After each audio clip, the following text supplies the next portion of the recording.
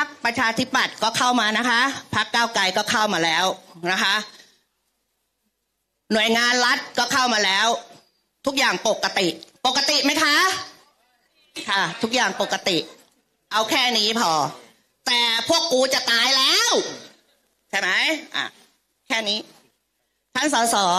ฝากด้วยแล้วก็อ่านตามนี้ชาวบ้านจะต้องเขาจะได้เข้าใจ ค่ะดิฉันนางยุวากรนะคะ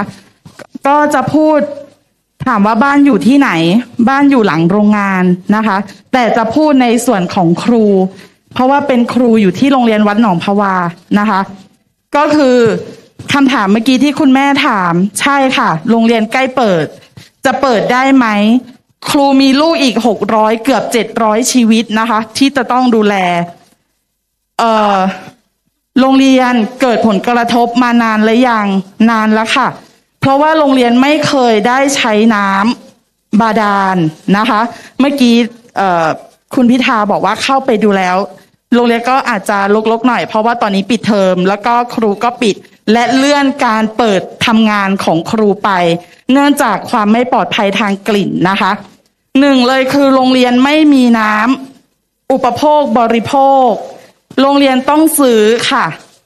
เด็กๆ ต้องซื้อน้ำรับประทาน และโรงเรียนก็จะมีน้ำที่สำรองไว้ให้เด็กๆก็คือ ทุกอย่างเราซื้อให้เด็กนะคะ เด็กๆบางคนเขาก็จะเตรียมน้ำมา แต่บางคนที่หนูไม่อยากเดินไปกด แต่หนูเลือกที่จะไปซื้อก็มีนะคะ นั่นคือเรื่องที่หนึ่งในเรื่องของน้ำเราไม่เคยได้รับผลการตรวจของน้ำแต่ถามว่ามีหน่วยงานเข้าไปตรวจไหมมีค่ะ แต่ถามว่าเรารู้ได้ยังไง รู้จากลุงเทียบ รู้จากพี่สนิทนะคะ ที่เข้าไปแจ้ง น้ำโรงเรียนใช้ไม่ได้นะครู น้ำโรงเรียนมีสารตกค้างนะครู นี่คือผลกระทบที่เราได้รับกระทบมานานแล้ว เวลาฝนตกบอกได้เลยค่ะ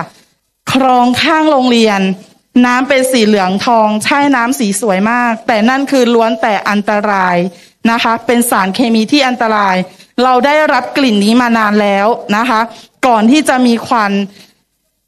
ฝั่งนี้จะเป็นนักเรียนชั้นมัธยม ก็จะได้รับผลกระทบเยอะหน่อย ที่โรงเรียนเป็นโรงเรียนขยายโอกาสนะคะ จะมีตั้งแต่ระดับชั้นอนุบาลจนถึงมัธยมสามมัธยมสามเขาจะรู้กันเลยว่า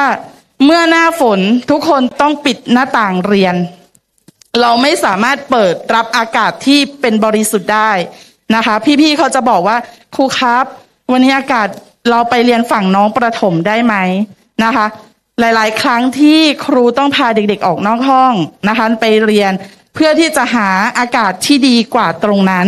นั่นคือหนึ่งเรื่องเรื่องน้ำและเรื่องส่วนอากาศหลังจากไฟไหม้แล้วนะคะ เราเองยังไม่รู้เลยว่าในอากาศ คุณบอกปกติ คุณบอกปลอดภัย คุณบอกไม่มีอะไรนะคะ แต่ในอากาศมีอะไรสะสมหรือปะปนอยู่บ้าง เด็กๆสูดดมทุกวัน เด็กๆหายใจเข้าปอดทุกวัน นั่นคือสิ่งที่เด็กๆสะสม อย่างครูครูบ้านอยู่ตรงนั้น ก็เหมือนกับครูก็สูดดม 24 ชั่วโมงแหละค่ะ เพราะบ้านครูห่างจากโรงเรียนไม่ถึงหนึ่งกิโล และโรงงานก็ห่างจากบ้านครูไม่ถึง500เมตรนะคะ ก็คือถามว่า แต่ถามว่าห่วงใครห่วงเด็กนะคะ จะทำยังไงจะให้เราย้ายโรงเรียนเราก็ไม่รู้จะไปอยู่ไหนนะคะเจ็ดร้อยชีวิต อาคารเรียน ก็ไม่มีไม่มีที่จะให้ไปแน่นอนนะคะ อยากถามว่าเปิดเทอมได้ไหม เด็กๆ ปลอดภัยไหม ถึงแม้ว่าเราซื้อน้ำกินน้ำใช้ แต่น้ำที่เด็กใช้ล้างก้น ล้างมือ ล้างหน้า เวลาเข้าห้องน้ำผื่นคันนะคะ บอกได้เลยว่าเราจะรู้สึกว่ามันก็มีความมีคันนิดๆนะคะ ในการที่เราได้สัมผัสน้ำค่ะ ค่ะ ก็อยากจะขอฝากค่ะว่าโรงเรียนจะต้องทำยังไง เพราะโรงเรียนเป็นโรงเรียนรัฐบาลไม่ได้มีแอร์ทุกห้องแน่นอน ที่จะต้องให้เด็กเข้าไปอยู่ในห้องแอร์นะคะ ค่ะขอบคุณค่ะ ครับ ขอบคุณคุณครูมากเลยนะคะ